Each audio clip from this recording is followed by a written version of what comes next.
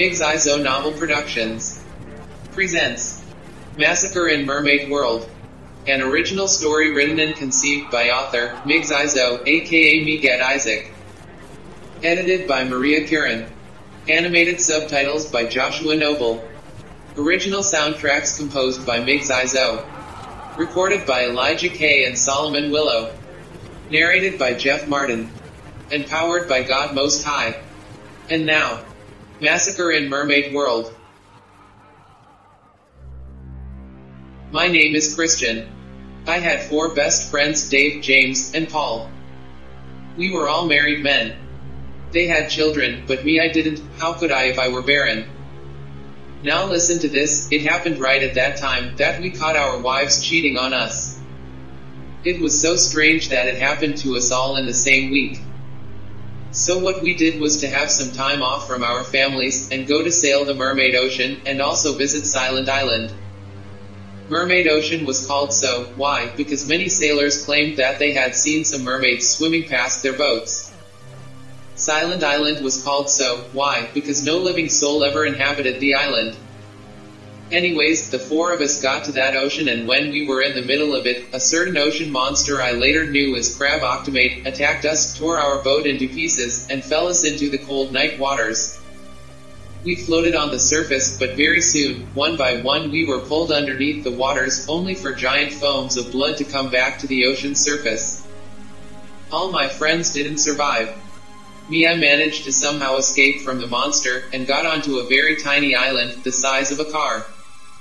Listen to this, even though I had survived, but I was so wounded, and so much blood had flowed out of me, that before I died, I first fainted.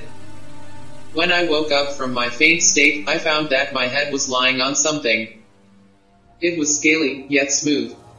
It was a giant body of a fish. When I turned my head up, I found the upper half of a human being, and then a female human face, I swear the most beautiful of faces I had ever seen. It was a mermaid. All the tales that the sailors had about Mermaid Ocean were real. Look, the mermaid I found told me that if I didn't accept to be turned into a mermaid, I was definitely going to die. Turning me into a mermaid was the only way she was ever going to save my life. And indeed she did, with one beautiful kiss, my body was wrapped in this outlandish light, and the next thing was for my wounds to be sewn away, then my legs melted and stuck together, and the next thing was a flurry of scales flying onto it, until it became like that of a mermaid's. I had become one of them. I was no longer Sailor Christian, but Mermaid Christian, and her the mermaid that had kissed me into a mermaid, was called Mermaidrin. Now that very night deep down in Mermaid Ocean, Mermaidrin led me to what I later knew as Mermaid Kingdom. You won't believe me when I say that Mermaid Kingdom was the heaven of the sea. It was really eye-catching. I'm telling you that while there, you just wouldn't stop gawping, you just wouldn't help turning your head a million times to behold all the amazing things that were down there. Mermaidrin couldn't help laughing at me as almost everything caught my attention. Beautiful mermaids of all kinds were swimming about in indescribable joy. Their tails were of different colors, red, pink, green, silver, to mention but a few. I noticed that some had glowing eyes, and some had glowing tails. I asked Mermaidrin why it was so, and she told me that the ones with glowing eyes were the top guards of Mermaid Kingdom, and that the ones with glowing tails were the kingdom's doctors and nurses. She also added this that so long as you were a mermaid, there was a power, like a special ability in you. Mermaidrin told me that the mermaid guards, the ones with glowing eyes had the ability to look right into the future and see what was gonna happen before it happened, and so their very special power could earn them any other better position than to be the kingdom guards. She also told me that the glowing-tailed mermaids had the special power of healing in their tails, and it's that power that bright in their tails that glowed, and so with their special power, they automatically had to be Mermaid Kingdom's health workers. When she had told me all that, I asked her, Mermaidrin, what's your power? She turned to face me with her angelic face, as we slowly swum into the kingdom, then she said, my power is nature conversion. When she had said that, I quickly swum slightly ahead of her then turned to meet her face, and I was like, what in the mermaid world does a power called nature conversion is, and how does it work, anyway? She had this as an answer, saying, nature conversion is the power I used on you, when I found you bleeding to death on that island. Look, Sailor Christian, with that power, I turn mermaids into humans, and humans into mermaids. Mermaidrin's power was by far the best, and she was the only mermaid with that power. Really converting nature sounded so much super cool to my ears. Listen, Mermaidrin had turned me into a mermaid, yet she was still referring to me as Sailor Christian. And besides all that, if all the mermaids had a certain power, then what was mine since I had now become a mermaid? There's obviously only one mermaid that automatically must have had an answer to that, and that was no other than Mermaidrin. So I asked her, Mermaidrin, what's my power? But she had no answer to that other than a bland I don't know. She said that I had all the time to discover it on my own, like how every mermaid down here in Mermaid World had done. We continued swimming, and there's this something I had noticed. Fellow mermaids were making respective gestures for Mermaidrin, and I was wondering why. Why are they making all those gestures for you? Is it that you're some respectable mermaid down here or what? No, I'm just as ordinary as all the mermaids you've seen, and those gestures you've seen them make are just part of the mermaid communication ways. She told me all that, but she was only lying to me, she was no ordinary person in Mermaid Kingdom. And this is how I knew what she really was in this kingdom. We slowly swum with her, and she led me to some building, and there we swum into this one room, where she kept me for a while. She then moved out and left me there all alone, as I moved my eyes over all the luxuries that were inside there, the historical portraits, so on and so forth. Now while I was doing that, a certain mermaid swum into the room, actually she just happened to take shape right in the middle of the room. But that didn't surprise me at all, because I already knew that at least every mermaid down here had a certain power in her, and that for this mermaid which had just appeared was the power of disappearance and appearance. Be attentive to this. This mermaid was calling out Princess Mermaidrin, Princess Mermaidrin, where are you? Look, I had taken cover somewhere she couldn't see me. Now listen. What I had thought before was very right. Mermaidrin was no ordinary mermaid. She was the princess of Mermaid World. Did you hear that? She was princess of Mermaid World. Now I knew that I had been saved from death on that island, actually not only that but also turned into a mermaid by a princess mermaid. I wondered why she didn't want me to know that she was a princess. Anyways, as this mermaid that had magically appeared into the room where I was continued calling her Mermaidrin, or now Princess Mermaidrin walked right in. And then this other mermaid, whom I later knew as Mermaid Deborah, turned to her saying, The queen sent me to call you, and she's quite worried. Then Princess Mermaidrin was like, How did you find me? I used the help of Mermaid Derek. She answered with a smile. Look here, Mermaid Derek was this one mermaid who could locate where every mermaid was at any time. As they were still saying stuff to themselves from where I was hiding, something happened to prick me in my rib side, and it's that which made me jump out of my hideout, and in so doing, Mermaid Deborah, who wasn't supposed to see me, saw me. Straight away, she was like, Princess Mermaidrin, who's this? Are you sneaking with some boy or what? Mermaid Deborah will you keep your voice low, that was Princess Mermaidrin. He's not my boyfriend. Come here let me tell you this. She grabbed hold of her hand and they swum over there near the door. He's a sailor. Princess Mermaidrin told her, and continued on saying this, I found him dying there on the island, and had no choice but to turn him into a mermaid. You mean you just turned yet another sailor into a mermaid? But remember the queen had prohibited you from doing just that. Then Princess Mermaidrin had to come in begging, please promise me you won't even breathe a word to my mum. But before even Mermaid Deborah could make her promise to her, the Mermaid Queen, of course Princess Mermaidrin's mum walked into the room. She was all along outside the room overhearing their conversations. The next thing was us meeting her in her of course magisterial living room, where she was seated with King Mermaid on their thrones. They didn't like it, I mean all that thing of her turning yet another sailor into a mermaid, and they wanted to kick me out of the kingdom that I go make stay who knows where. Mum, you just can't chase him away like that. He hasn't even lasted in Mermaid Kingdom for barely 10 hours, how do you expect him to survive out there all alone with all the dangerous creatures that abound therein? That all was Princess Mermaidrin pleading for me. But even though she gave them all the convincing reasons for them not to chase me away, they had made up their minds, they had come to a decision, I just had to go. So the guards grabbed hold of me and started drag swimming me away, as Princess Mermaidrin cried all the tears out of her eyes, biting off some guards, but they were so powerful for her. That night, I was going to be thrown into the large ocean all by myself, if it wasn't this. Remember, I told you earlier on that the mermaid guards were those special kind of mermaids who had glowing eyes and had the ability to see future events. So as they were dragging me away, they happened to stop all at once, and it was like they had been put under some sort of trance. They were seeing into the future, and just after 50 seconds, they left back in action. Everyone there knew that if the guards made that sudden stop in their motion, it meant that they had seen something in future, and that always meant danger. So it was King Mermaid to ask first, saying, Mermaid guards, what have you seen in the future? Something worse, the head guard continued, saying, The monster, Craboctomaid, knows our new location, and he's coming right at us. Just at the mention of that monster, the king almost staggered from his throne, and everyone else in the kingdom twisted his face from fright. It was like they all knew what it meant if Craboctomaid got into a mermaid habitant. Listen, Craboctomaid was the monster that had taken my life through hell when I was on the ocean's surface before Princess Mermaidrin had found me so as to turn me into a mermaid.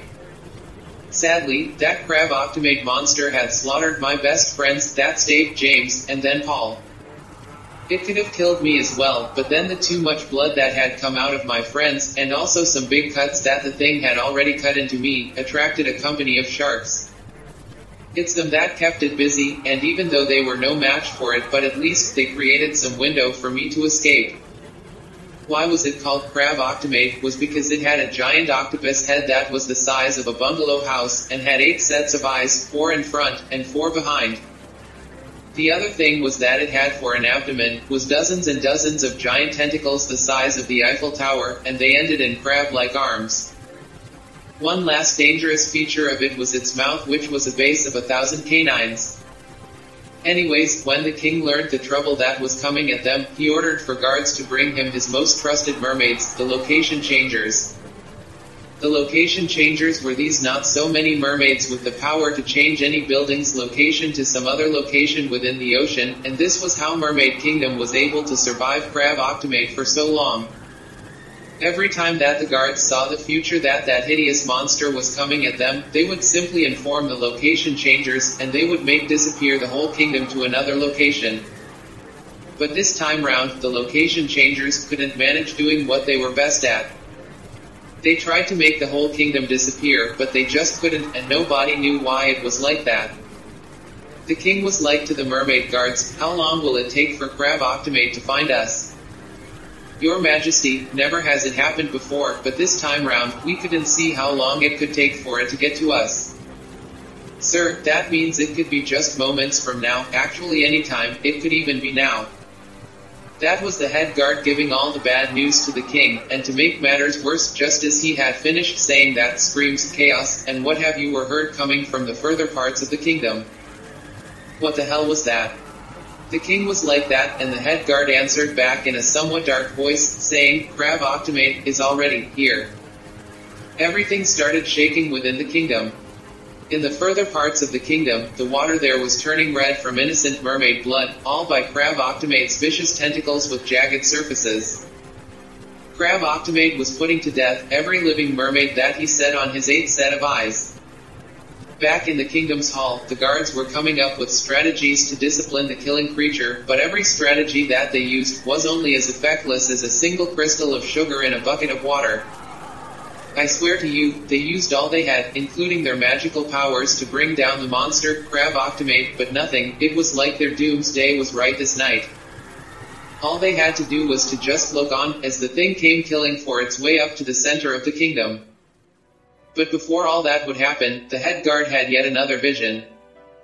In his vision, he said to the king that I was the only person with the power that was going to help them defeat the thing. But really, how was I ever going to do that? I hardly even had any experience. The king then called me to him.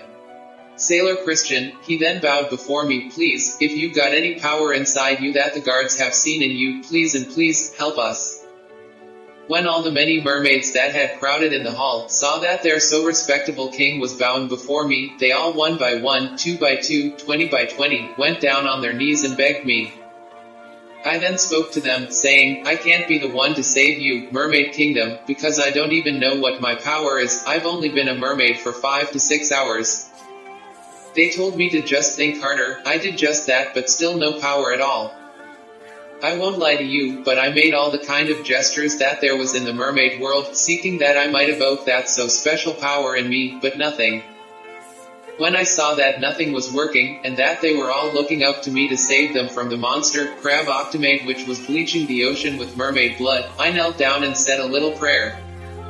And as I said the prayer, I had them say a lot of hopeless statements, the likes of he's not going to help us, we are all gonna have our innocent blood spread out in the ocean. But that just didn't stop me, I continued with my prayer to God, and that's when I felt something turn within my brain. It was an idea, but it felt more like a very real idea, like a 3D idea in my head. I quickly walked to Princess Mermaidrin, the special one with the nature conversion powers.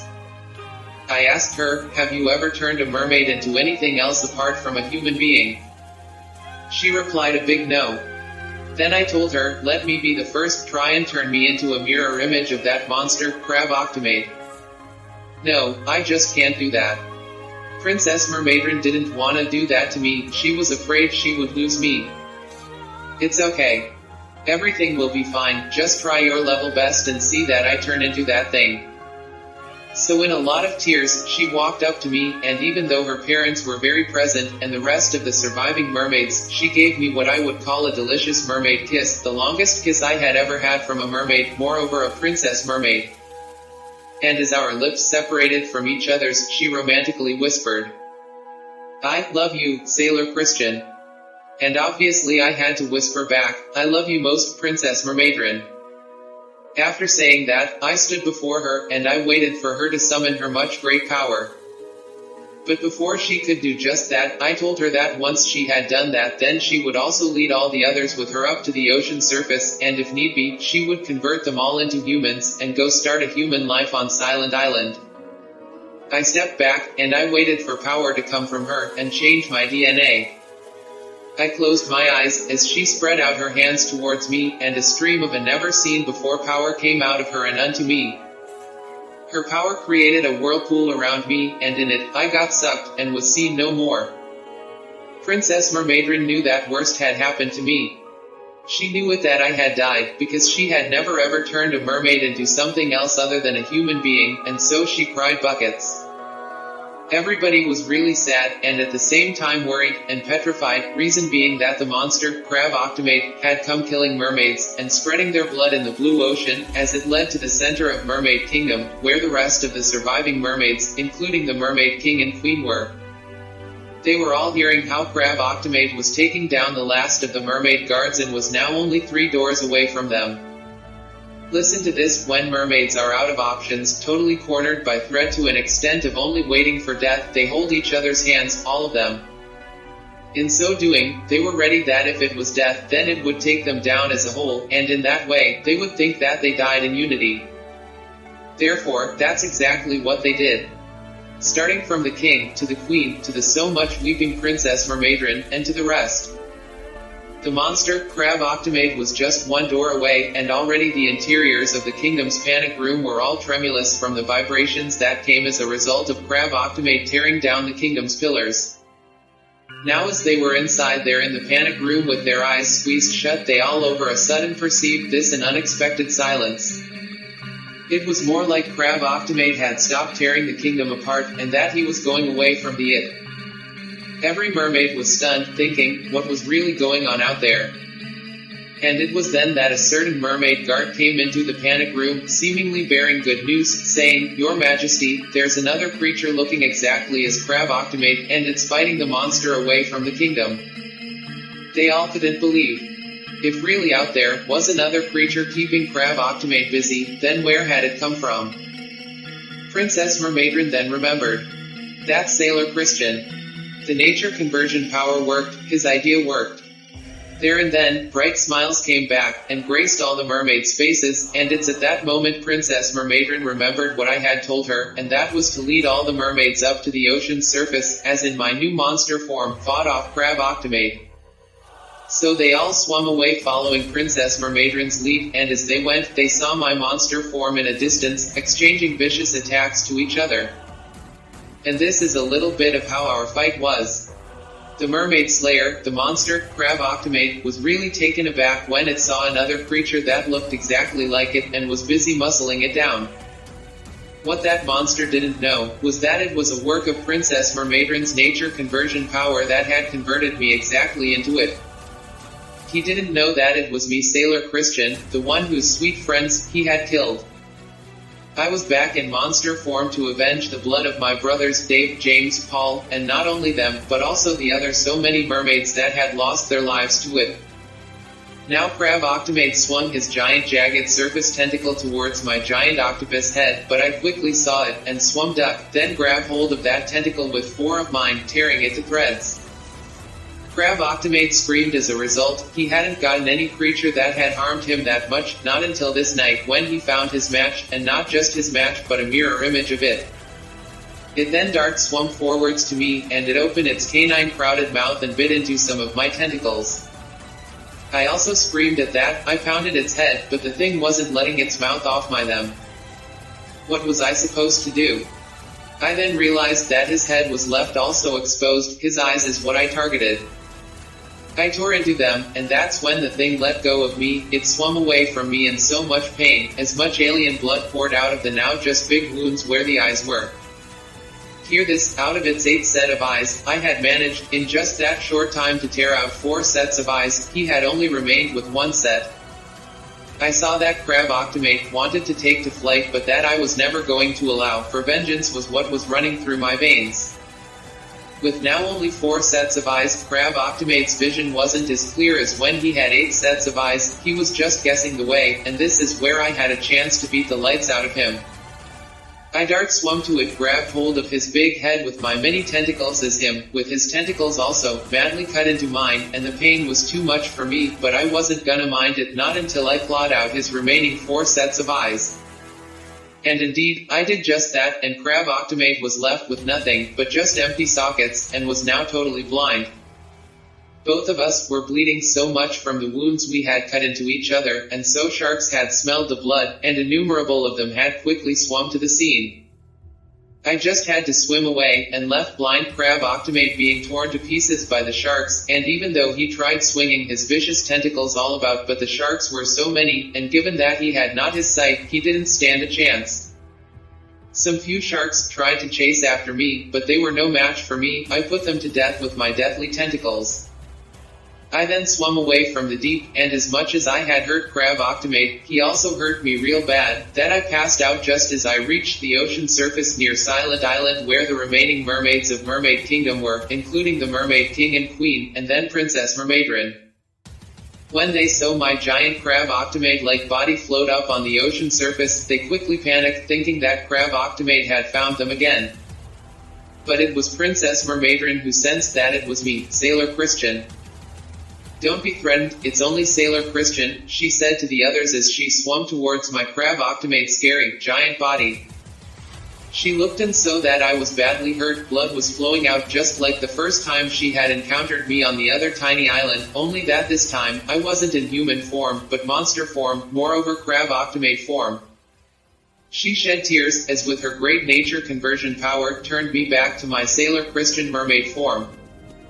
Did I change back? Yes, of course I did. The giant Craboctomaid body slowly reduced and reduced and finally reduced into me, Sailor Christian, even though I was super wounded. I mean almost all my body was covered in wounds, and I was so weak that I couldn't even open my mouth to speak, for my tongue felt as heavy as an iron slab. Princess Mermaidrin, as she swung me to the shores of Silent Island, she screamed, saying, I need a mermaid doctor right now but no one was responding. Didn't you hear me? I said I need a mermaid doctor. Sailor Christian is dying, she said as a river of real tears cascaded down her beautiful cheeks. Then some guard broke the bad news to her, saying, I'm sorry princess, but all the doctors are dead. She cried even more, knowing that there was no way I was ever going to survive without a mermaid doctor. But while everyone was there sad for their hero who had saved them from the monster Craboctomaid, a little mermaid walked forwards. Princess Mermaidrin, I'm a mermaid doctor. But Princess Mermaidrin thought that the kid was only joking so she said, Honey, you just can't be serious. I know that you want us so much help but you're not a doctor. Besides, little mermaids don't discover their powers at your age.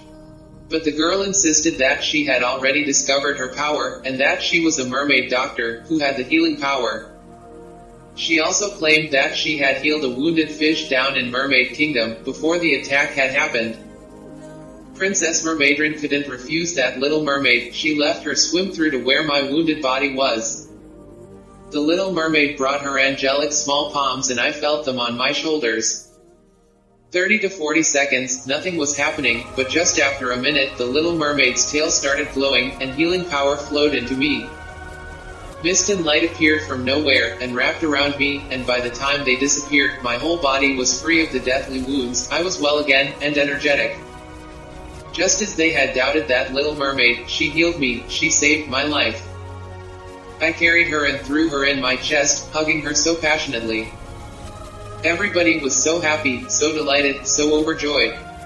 Princess Mermaidrin walked towards me and gave me a big kiss. There was no doubt that she was in love with me, and there was no shadow of doubt that I too was in love with her, the real, true, mermaid kind of love. I then said to them something that they were eagerly waiting to hear. Craboctomaid is dead. We can now swim back and rebuild Mermaid Kingdom. They wanted to bow before me once again, but I refused them, saying, Craboctomaid wasn't defeated by me, but Jesus Christ who was in me. And that's how I took the fame of Jesus Christ down into Mermaid World. And me and Princess Mermaidrin got married down there as mermaids. So that's how I saved Mermaid World, and that's how I married a Princess Mermaid. Look, earlier on in my human form, I was barren and couldn't have any kids, so my wife had cheated on me. But when Princess Mermaidrin converted me to a mermaid, and we got married, I'm no barren mermaid, I have four beautiful mermaid kids. I can't wait to learn what their powers are. Will they be as wise as their father, or be nature converters as their mother Princess Mermaidrin? Who knows, maybe there's an extra part in which we will find out all that but as for now, the end.